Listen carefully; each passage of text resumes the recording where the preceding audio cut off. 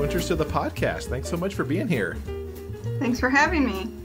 I'm super excited to get to talk to you because I got so in to your In Darkness series with Hidden in Darkness. Joel Leslie recommended it to me uh, when the audio dropped. I listen to anything that he tells me I need to listen to, and this was right on the mark. For folks who don't know what the In Darkness series is about, tell us all about it. Um, it's basically about uh, my main character's name is Felix, and he is hired to help take care of a man named Lane who has recently been blinded.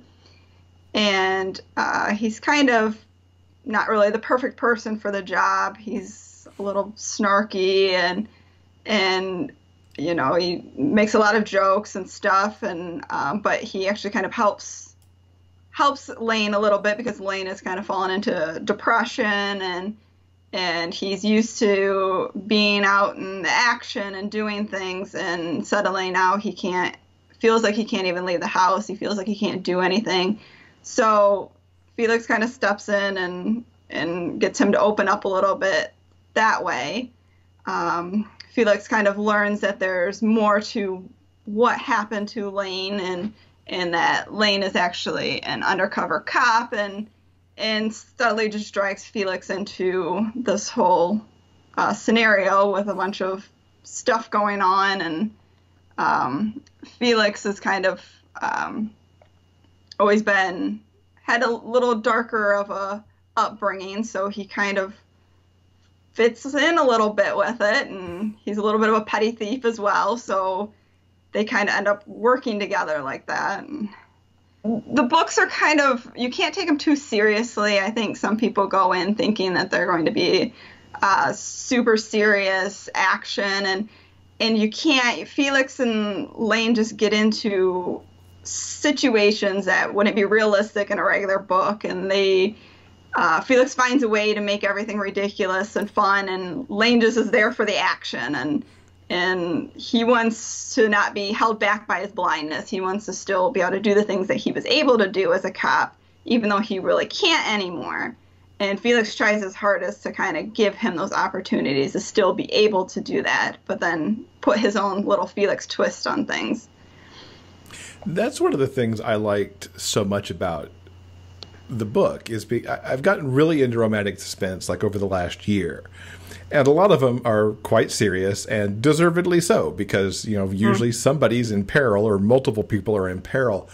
And then here you do have snarky kind of sarcastic kind of fearless most of the time felix who keeps nudging lane out of his comfort zone to get the stuff done and somehow keeping it all very i won't say light and fluffy but there are that there is those moments of like breaking the tension that I think only Felix can do.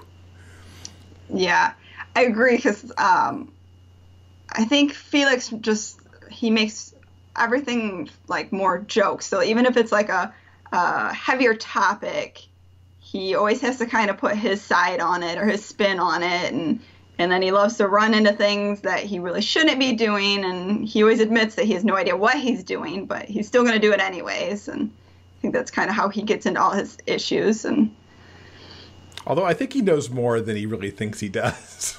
I i agree. He's he's street smart.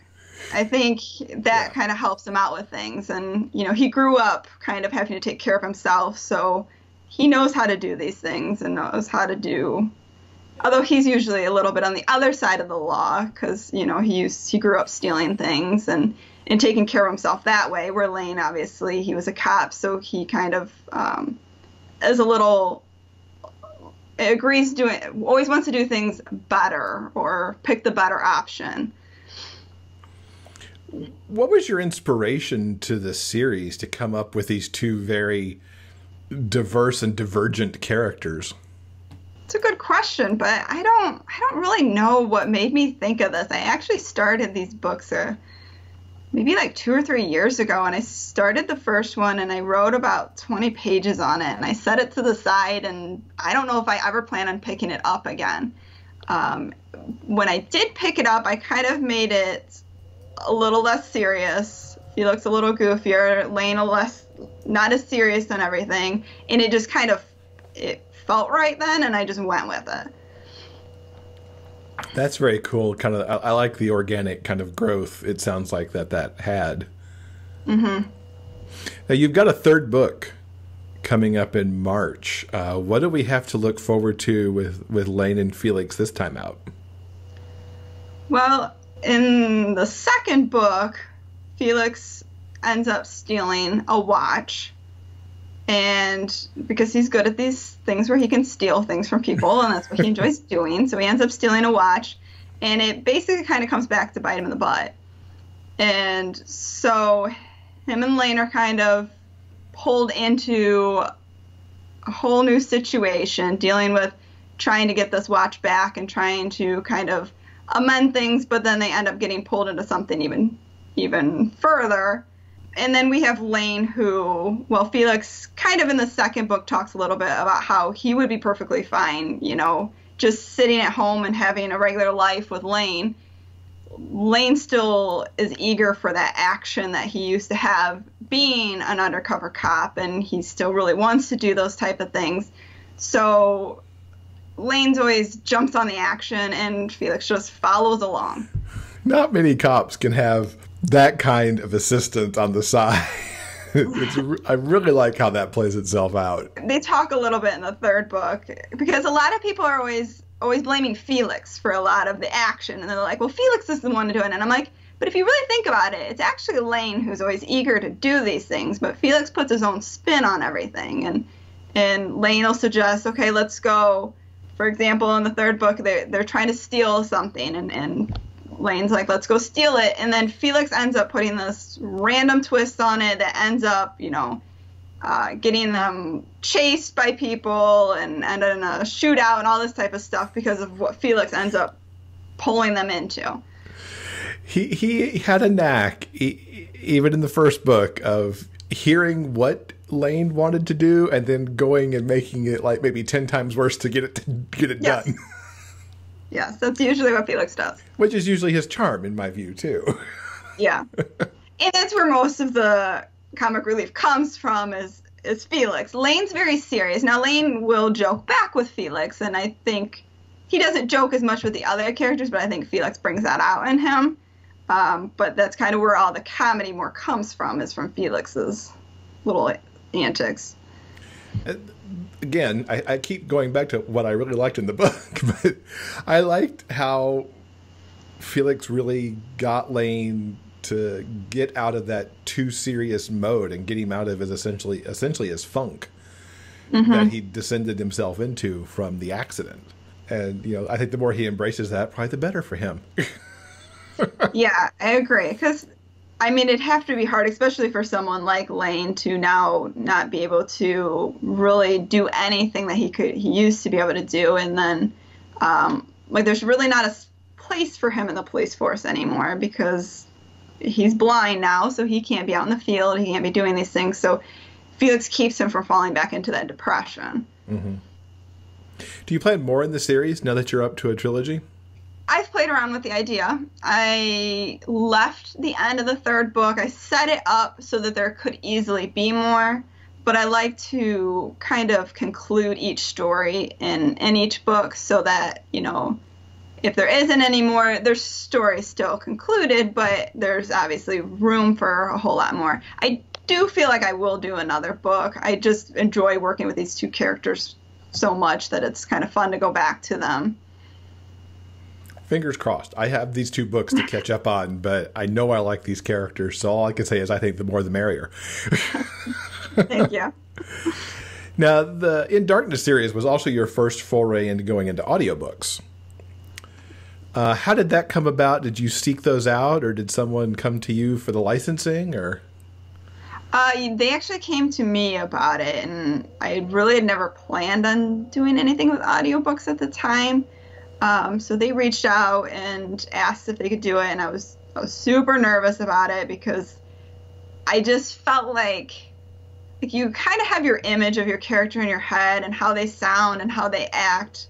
That I was really nervous that I would not like hearing Felix out loud. and I told them that I would do it, but as long as I could okay the narrator. Mm-hmm. And so they came to me with um, the first person that they came to me with was which was Joel, and um, so I I listened. I haven't listened to a lot of audiobooks, so I actually didn't know him. So I went through and I listened to some samples that they had given me of him, and and I was still kind of nervous because most of the samples they gave me, Joel wasn't reading he, uh, like a he was reading more of like a dramatic role. Mm-hmm. So I was still uncertain of how he would do with, you know, Felix's banter and things like that. And I don't I did not get to listen to the audiobook at all before it was published. So I was listening to it as you know everybody else was. So that was like my first time listening to it and I remember listening to about 5 minutes or so of it and then I I sent Joel a message and just told him that that you know he obviously did a perfect job with Felix and he you could tell he spent a lot of time figuring out how to properly portray some of the jokes and stuff because I feel like Felix could if in the hands of the wrong narrator could come off almost like a little bratty with how his how he says things and how he does things and and almost like a little rude in some ways if it's not said properly. But Joel did that perfectly. And I've read the books so many times that like I don't laugh at, at them as I'm reading them. But I was listening. I listened to both of the audiobooks, and he had me laughing out loud on more than one occasion on how he was able to depict the lines and stuff like that. That's clearly the sign of a job well done. And and from yep. Joel, I'm not surprised either. exactly. Yep. Yeah, he did an excellent job with Felix. That's really excellent. Uh, can you envision more audiobooks of your work down the line given the positive experience of this one? Yeah, I would love to, you know, kind of get my hand into more audiobooks and it'll kind of depend as we go along, but I would love to see more of them as audiobooks. Cool. Is the third book on it will will that be coming on its way or do you know yet? It will, but it's a little bit down the ways sure. a little bit. Yeah. Joel's very busy. Yes, he is. that is for sure.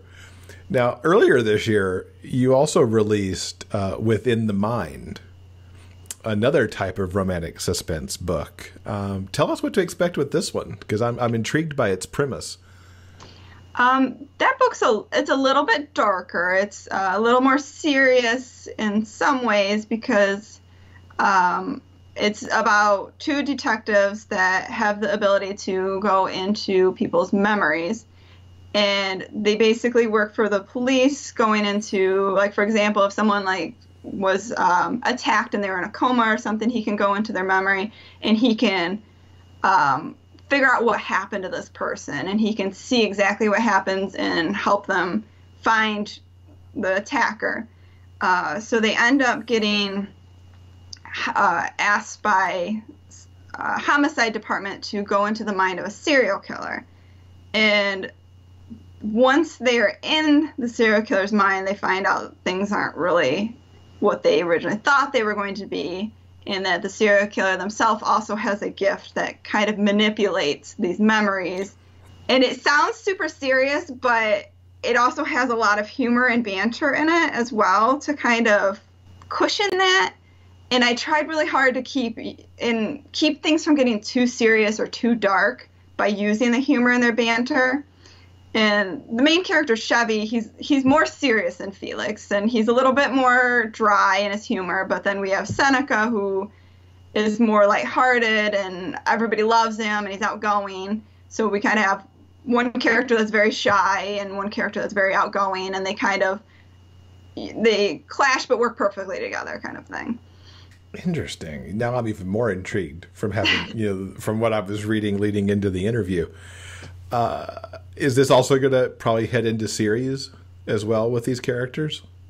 I would I I would like to make this a series. Um, it is my plan at the moment to kind of do more with the characters because I feel like you kind of really only get into the relationship side towards the end of the book and I feel like because they're working with the police, there's so many different opportunities for them to have, to get involved in cases and and you know, I really don't delve too much into other people's gifts in it besides the main antagonist. So it'd be fun in, you know, future books to kind of branch out on that type of stuff as well. That's very cool. You mentioned with the In Darkness books that you couldn't really pin down like the inspiration behind those characters. Where would you say overall that your inspiration comes from for these for these suspenseful tales and the character you you tend to create? It's a very hard question. I I don't really know. I mean, same with the I was trying to think of that for within the mind as well. What made me think of that and and I don't remember. I remember starting the book a couple years ago. I actually started it with a female protagonist, and it was supposed to be more of a horror. And I just couldn't get past page five, and it just didn't feel right. It wasn't going anywhere, and I just stopped it. I don't, I don't know. Usually something inspires me, but I don't really, can't really remember for either of those what made me think of it. You mentioned for both of the for a couple of these things now that you know you you put in darkness away for a while, and you just mentioned this female protagonist when you were in like a few pages and stopped. Is your process more around outlining or just kind of writing and see where it takes you? I usually just write and see where it takes me. I usually can just um, just kind of jump into a book. Those were really the only ones I've written recently that I had kind of set away for a while and jumped back into. Usually, if I kind of have an idea, I can go into it and just start writing, but I like to only write one thing at a time. Mm-hmm. So, like within the mind, I had started that while I was writing a different series, and I kind of just had the idea in my head and I wanted to get a few pages down, and so I did and then I was like, well, I'll get back to it when I'm done with the book I'm currently working on. And then I just never did. I never got back to it. I kind of moved on to something else. I, I easily get excited to start another book and then I just jump into it and go. And I try not to write too much. Like, I'm not good at writing two things at the same time. I like to just focus on one book. And I'm intrigued that you can do these suspenseful mystery books and not plot it more out. I think that would stress me out a little bit if I didn't know how, at least how the mystery part was going to kind of play itself out. Yeah. Sometimes I kind of have a good idea in mind. And like in Darkness 3, I just went into it and I had, for a lot of it, I had no idea where I was going with it. And then it just kind of fell into place. I usually get to that point where like I have an idea and then I just kind of have to sit and think about it for a while and and then you know I can go from there. But I usually just jump into the book. Usually I know I know who the characters are and a few main scenes that I want to hit in it before I get started. That is super cool. I, I love that. Let's do a little origin story. So, what led you into writing and, and coming into MM Romance? I think I started writing when I was a lot younger because my mom wrote a little bit. She doesn't write anymore, but she wrote a little bit, and of course, I wanted to do what she was doing. So, um, I used to play on her old typewriter and write out stories that way. And then I just kind of got addicted to it from there. And I mean, I had hundreds of notebooks that I used to I was horrible at not paying attention in school. I was just the person just sat in the back and wrote in my notebooks the whole time. And as with the romance aspect of it, um, I feel like I've always kind of written from a male's perspective. I've tried to write a few books from a female uh, point of view, but never finished them. I don't know if I have a single book that I've finished with a female protagonist but I've always kind of been like that. Even like when I play video games and stuff, I always pick the male protagonist.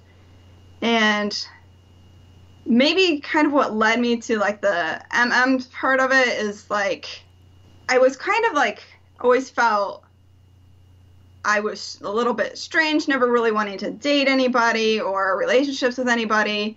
And like back in high school, I started to kind of resent like male female romance in books. And because it's like that was what was normal and i felt like i wasn't normal and i needed to be normal and i started to resent that kind of side of it. And i don't know if that's kind of just what pulled me into it. And it's like now that I'm older, I just accept myself for who I am. I don't feel like I need to, you know, label myself as anything or fit into whatever category other people think I should fit into and am more comfortable that way. And so that stuff doesn't bother me as much anymore. But I feel like back in high school and stuff, I, I really had that kind of issue. And that's really when I started writing this, you know, these type of romances. Mm-hmm. I like that it goes back that many years for you. I mean, that, that's very cool. What sent you down the romantic suspense path? I will literally write just about any genre. Um, I kind of have to have some type of plot though. Mm. I I don't think I could write like a full romance. Maybe like a novella I could, but I just I feel like I have to have some type of plot like pushing the book forward. So it doesn't nearly like really have to be the suspense. I've you know I've I have like a fantasy and stuff that I've wrote and any type of that stuff, but I just like I don't know, I just like the the action pushing it and like that type of the plot. I kind of like to have plot as part and then the romance as part and kind of combine them together. Mm-hmm. So really, you might branch off into any other genre just as inspiration strikes and you find the right plot and the right characters to do it with. Yeah, I feel like I would. I don't. I get bored very easily just writing like the same type of thing. That's that's just it with like I just the people that can write like a series of 10 where they kind of like and like do cases every time like I think that's awesome but I don't know if I could do it. I feel like I would I'd kind of get bored of it and have to move and do something completely different. Mm-hmm. What would you say the trademark of an Alice Winters book is? I feel like most people would say it'd be the banter between my characters like even my more serious books i still kind of enjoy that banter and that dialogue i love a book with dialogue in it and i feel like my books are very heavy on the dialogue i generally when i write a book i probably write too much dialogue and not enough description and i generally have to go back and actually describe what people look like and where they're at and what they're doing because i love the dialogue i could i could write dialogue all day long mm-hmm. yeah i'm kind of that way too it's like I, I, I, populate the scene later. Let's write the write the exactly. dialogue because that's that's the that's the fun and easy part in a lot of ways. it is, yeah. What do you like to read when you're not writing? I'll read just about anything. I do like I do like the thrillers. I do like comedy, uh, fantasy. I, I literally, if it has a excellent character in it, I'll read just about anything. It I'm not super picky when it comes to those type of things. I do like I do like a unique character that kind of stands out.